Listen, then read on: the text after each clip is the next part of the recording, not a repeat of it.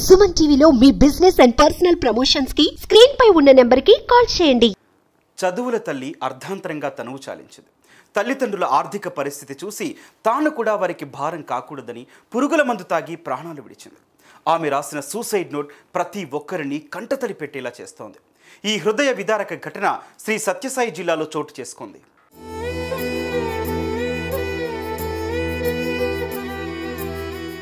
కనగానపల్లి మండలం మామిళ్ళపల్లికి చెందిన వనమాల నరసింహులు నాగలక్ష్మి దంపతులు.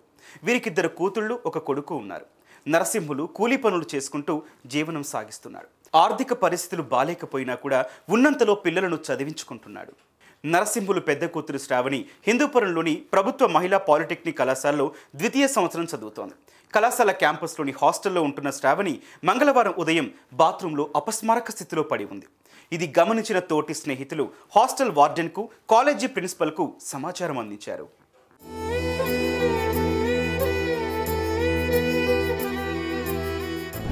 విషయం తెలుసుకున్న ప్రిన్సిపల్ ఆమెను ఆసుపత్రికి తరలించారు. పురుగుల మందు తాగినట్లు గుర్తించిన డాక్టర్లు ఆమెకు చికిత్సను అందించారు. పరిస్థితి విషమించడంతో చికిత్స పొందుతూ శ్రావణి మృతి చెందింది. కూతురు ఆత్మహత్య చేసుకుని చనిపోయిందని తెలుసుకున్న తల్లిదండ్రులు కన్నీరు మున్నీరుగా విలపిస్తున్నారు.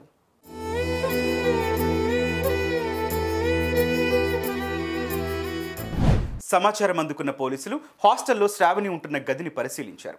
గదిలో శ్రావణి ఆత్మహత్యకు ముందు రాసిన సూసైడ్ నోట్ పోలీసులకు దొరికింది. అందులో తన మృతికి ఎవరూ కారణం కాదని తాను క్యాన్సర్ వ్యాధితో బాధపడుతున్నానని తనకు ఆపరేషన్ అంటే భయమని తల్లిదండ్రులకు భారం కాకూడదనే ఉద్దేశంతోనే ఆత్మహత్య చేసుకుంటున్నట్లు సూసైడ్ నోట్లో స్పష్టం చేసింది. అమ్మాయి పేరు శ్రావణి సెకండ్ ఇయర్ ఏసీ చదువుతుంది. మార్నింగ్ పదిహేను అరౌండ్ లెవెన్ ఓ క్లాక్కి హాస్టల్ మేడం ఫోన్ చేసి ఒక అమ్మాయి పడిపోయింది.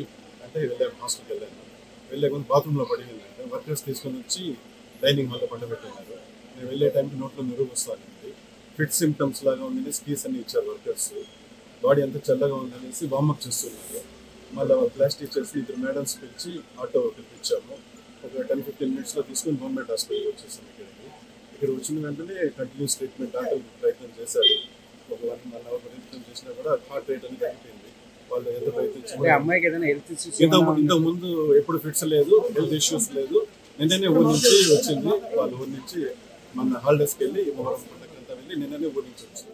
కూతురి సూసైడ్ నోట్ చూసిన ఆ తల్లిదండ్రులు గుండెలు పగిలేలా విలపిస్తున్నారు. అయ్యో తల్లి ఎంత కష్టం వచ్చింది నీకంటూ ఆ తల్లిదండ్రులు కన్నీరు పెట్టుకున్నారు.